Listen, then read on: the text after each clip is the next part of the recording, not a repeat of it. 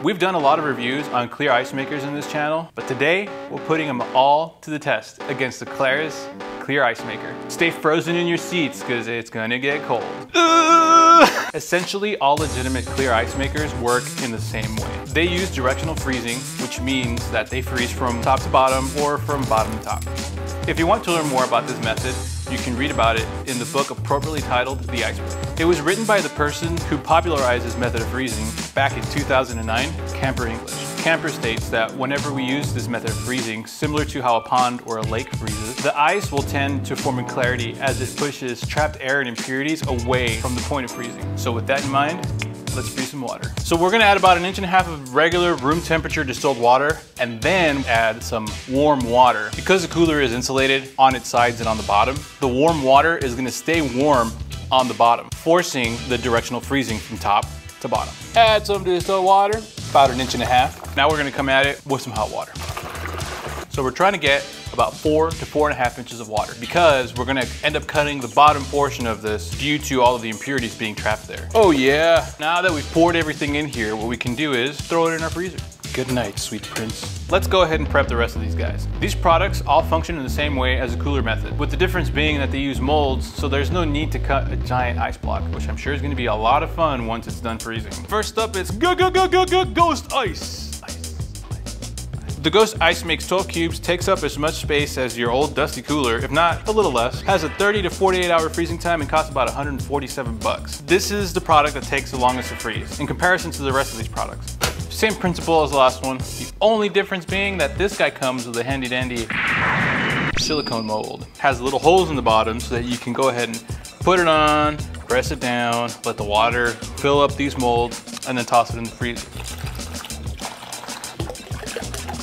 Now another thing is you want to press from the sides, push it in. Let's just go on and get this guy next to our old daddy's cooler. Another highly ranked product from Amazon is the Clearly Frozen. This unit looks the most different because it is surrounded by foam and not the plastic casing. This was priced competitively to the True Ice at $39.99 on Amazon. This guy is made up of three parts. You got your silicone mold, you got this plastic sleeve, and then you've got your foam sleeve. You put this guy in here.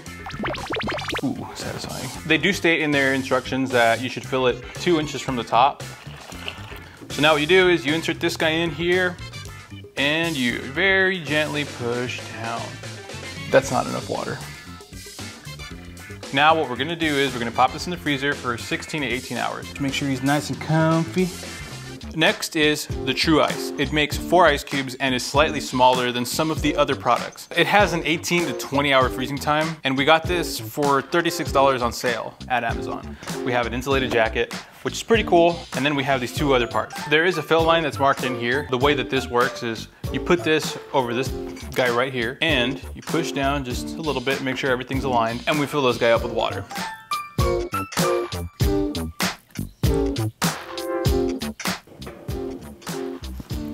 Now we just let it hang out.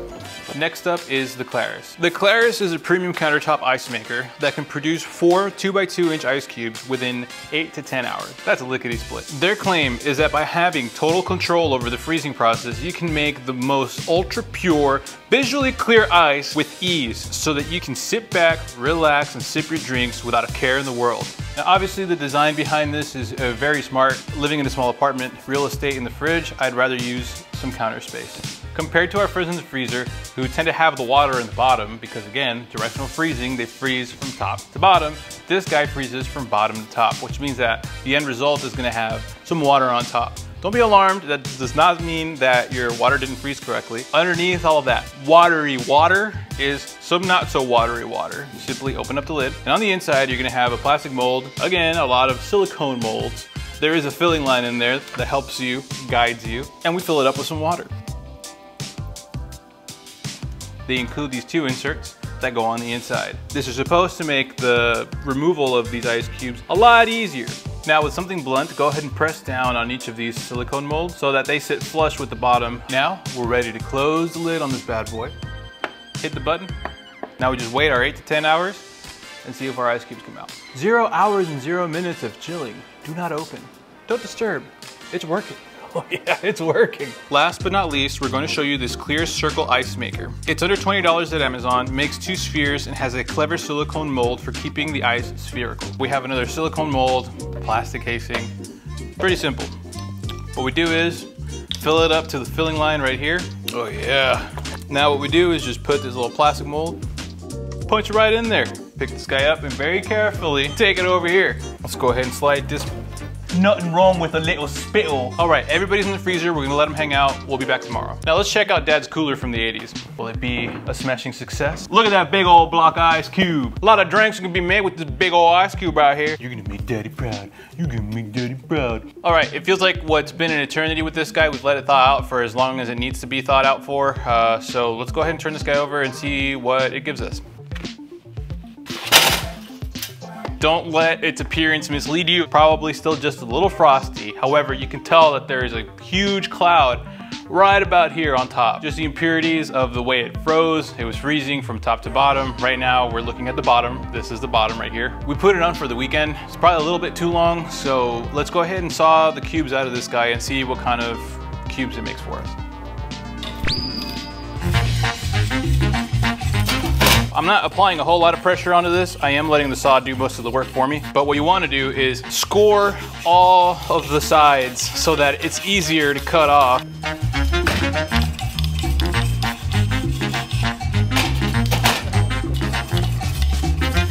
So now that we have a scoring, what we're gonna do is we're gonna get an ice pick, put it on the scored sections of the cube, and hammer it to get a split.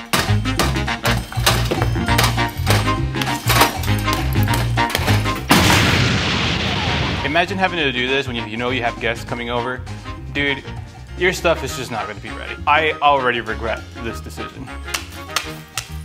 What I want to drive home is that cutting ice like this takes a certain level of expertise. I clearly don't have that expertise, but this just takes a long time to master. You know, it's not something that you can pick up on a weekend and, and try to do on your own. I mean, you totally can. More power to you. This is something that you like to do. But that's why products like the Ghost Ice, the Klaris, the True Ice Maker, the Clearly Frozen. All of those guys are trying to make your life easier to not have to do this. One of the last steps that we have to do is consider the glass that we're gonna put our ice in. Let's take our old fashioned glass here and more or less just kind of throw it on there. There's a ring right here that lets me know more or less the size of cube that I need. So now what we have to do is continue sawing this guy. So what we're gonna do now is cut this block of ice in half so that it can be uniform in shape. We're still at it with this fucking ice cube. this sucks. Okay, now we are filming, so this took me about 30 minutes, but maybe if you have the expertise that I don't have, then, you know, for sure, you're gonna be a lot quicker at it than I am. Let's just be real, it's a lot of work. Looking at it though, I am pretty proud that I was able to make this on my own. Uh, it is pretty fun, I guess, if you're into that kind of stuff. One of the glaring issues for me is that I do hope that it fits in my glass. We did do the proper measurements, but the ultimate test is putting it in the glass and putting some liquid in it and see how it holds up.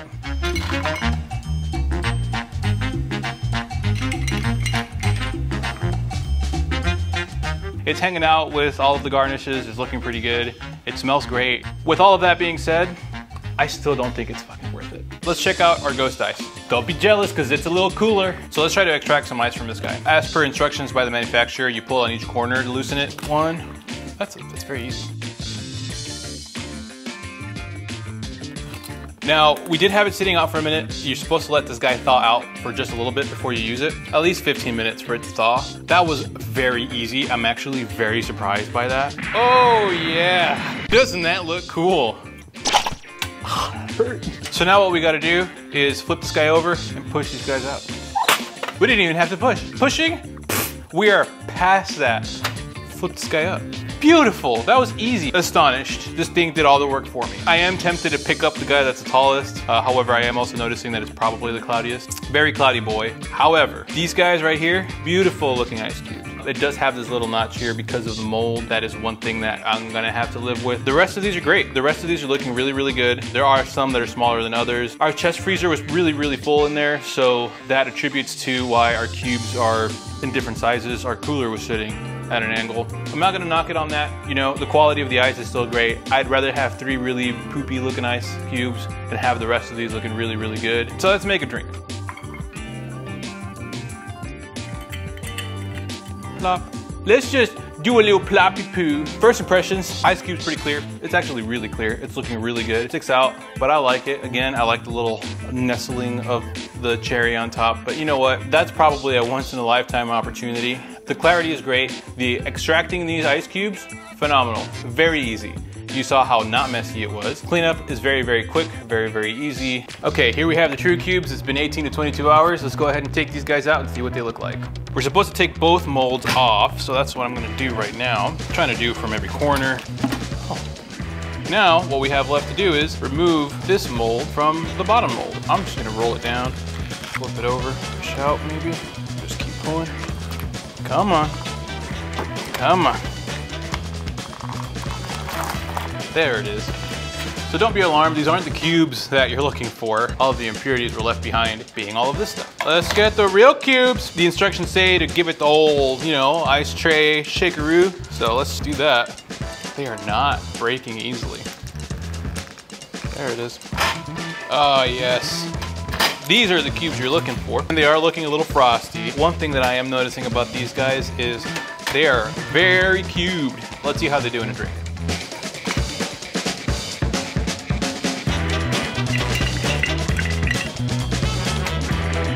The glass is a little frosty, however, the ice also is not very visible, which is what we're looking for. We don't want to see a whole lot of the ice. We don't want to see any impurities in there. And this is a very impressive ice cube. It's very uniform, it's very cubed. I like how it's almost barely peeking out from the top. The kind of set it and forget it mentality of putting water in, inside a cooler, putting it in the freezer, letting it hang out there for a while, and then coming out with something that's as uniform as this is, is very good. If this was given to me either at a get together or at a bar somewhere, the ice cube would be perfect for me. It's a very exceptional looking ice cube and I am very happy with the results. So now we have the simple taste. It's been sitting in there along with the other guys and uh, it's time to extract it. So now, all we gotta do is split this guy open and we have our tea sweet. It's pretty cloudy, but again, I'm gonna give it the benefit of the doubt and just subject that to it being frosty. It's still cold, but it's not perfectly sphere. You can see that there's a little guy right there. There's maybe another little guy right here. Yeah, the little nubs from the molds. They got these little nubs right here. You can barely see them. Let's go ahead and make a drink.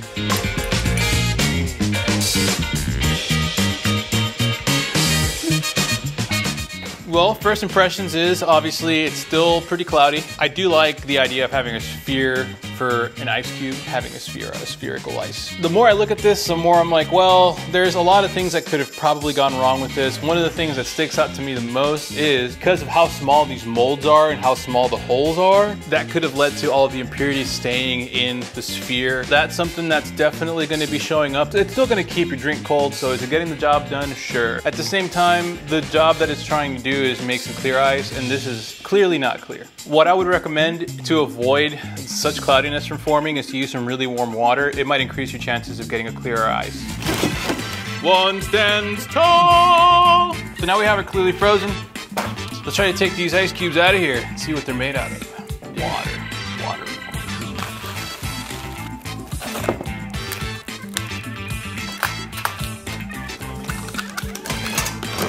Now we got this big boy here. We got to figure out how we're gonna take all of this off.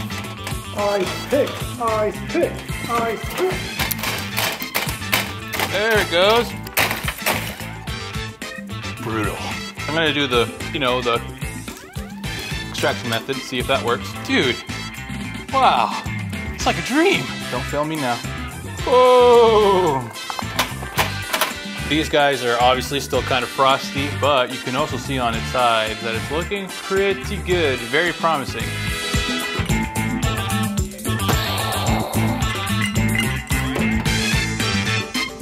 There you have it. Looks great.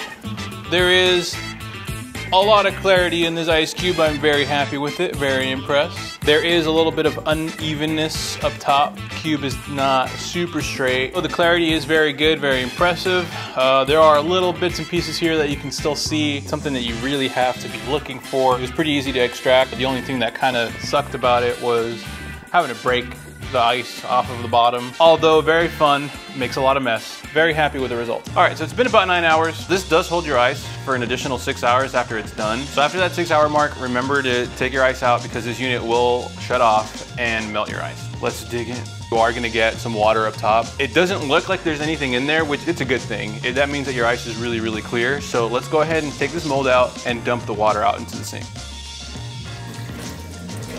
This is very flexible.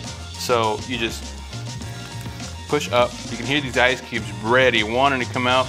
And you can use the plastic to kind of fish it out. Look at these beautiful boys. They're very, very clear.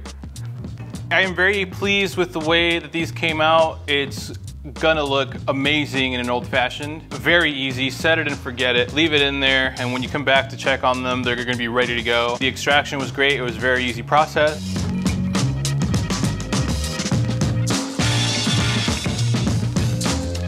Well, there you have it, folks. It's very clear. You can't see it. You can see that the cherry is floating on top. That's pretty cool. And this old fashioned looks fantastic. If this was served to me in a bar, I would be very impressed and very pleased with the way it looks. All right, y'all, so there you have it. We've gone all the way from the camper English old school method of doing ice all the way to the most advanced technology available today, the Klaris Tabletop Clear Ice Maker. Let's go ahead and rank these guys. We're gonna judge on shape, clarity, and ease of use. Okay, so coming in at last place, it's gonna be the cooler. You saw how much I struggled to cut the ice. Hey, if you have the passion for it, and if you have the flexibility and time for it, then you can totally go ahead and go with this method. It is a lot more cost effective than the rest of these products, but it's a total pain in the ass. For ease of use, I'm gonna give this a one out of 10. We saw how much of a pain it was to cut these ice cubes totally not worth the time. For clarity, I'm gonna go 9 out of 10. Camper English is right, you can totally get clear ice cubes using this method. For shape, I'm gonna give this a 2 out of 10 simply because I don't have the experience. However, if you do, you can totally get a 10 out of 10 shape out of this method. Coming in at fifth place is our Simple Taste, this guy right here. For ease of use, I am gonna give this a six out of 10. Because of how small it is, you are gonna have to be refilling this a lot more often in order to get that bulk amount of ice that you're looking for. You only get two spheres per batch, so that's gonna hold you back if you wanna make a large amount of ice cubes. For clarity, I am gonna give this a five out of 10. There were some spots that were clear, however, for the most part, they were pretty cloudy. And the point of this is to make some clear ice. This just did not deliver. For shape, I am gonna give this an eight out of 10. Some of these spheres did have little notches on them. They had a little bit of some irregularity going on. At fourth place, we have clearly frozen. For ease of use, we're gonna give it a seven out of 10. It is very similar to the cooler method in the sense that you still have to break that big block of ice cube. However, once you're past that, you can just do that simple ice cracking method and it'll be good to go. For clarity, we are gonna give them an 8 out of 10. There were some imperfections in there, however, it is something that you have to be looking for in order to find them. For shape, we are gonna give this a 6.5 out of 10. There was that really tall ice cube and the rest of them were just very different height. Sharing the podium at the number three spot, we have the Ghost Ice. For ease of use, I am gonna give this a seven out of 10. It's very similar to the Clearly Frozen in the sense that you still have a big block of ice cube to take care of. But again, you can crack this open like these old ice cubes that we used to have, and it makes more than the Clearly Frozen. For clarity, I'm gonna give them a nine out of 10. The ice cubes were damn near perfect. There were very minute, very small imperfections, something that you absolutely have to look for. So don't be that guy, don't look for it. For shape, we're gonna give these guys an 8 out of 10. They do have a little notch in the bottom. It's something that you either love or you hate. If you're a purist and you wanna have a cube that's flat on all sides, this isn't gonna give it to you, so keep that in mind. Coming in with the silver medal is gonna be the True Ice. For ease of use, we are gonna give it a seven out of 10. Because of how small it is, you are gonna have to be filling it up a little more often to get a larger batch of ice cubes. But on the opposite side of that coin, it does take up less space in your freezer. For clarity, it gets a nine out of 10. Even though there were a few striations in the cube, it wasn't a big deal. They were very near perfect. For shape, they get a 10 out of 10. They were basically perfect squares. And at number one, we all saw it coming from a mile away. Come on, let's be real here. It's a machine. It connects to electricity. It like has its own brain. I already didn't have to use my brain other than just pressing this top button and it's like, it just starts working. It works. Don't you just love it when something just works? Coming in at the gold medal, the number one spot, the Klaris Clear Ice Maker. Yes, this comes at a premium, but it delivers. For ease of use, this gets a 9 out of 10. It's got a very set it and forget it mentality. It makes ice very quick, and it doesn't take up any freezer space. However, it does only make four ice cubes, so if you have a get together or a party, you're gonna have to batch beforehand. For clarity, it gets a 10 out of 10. It was a perfectly clear ice cube and it looked great in a cocktail. For shape, we're gonna give this a 9 out of 10. The sides and bottom were perfectly flat with the exception of the tops. They did have a bit of a slant. So there you have it. The Klaris was number one, but if you don't want to spend a whole lot of money, there are a variety of other products that can make ice for you reliably. Thank you guys for tuning in. I had a lot of fun reviewing these products for you. If you'd like to see more content like this, let us know in the comment section below. And if you've tried any other methods of making ice, let us know too. We'd like to find out. Cheers.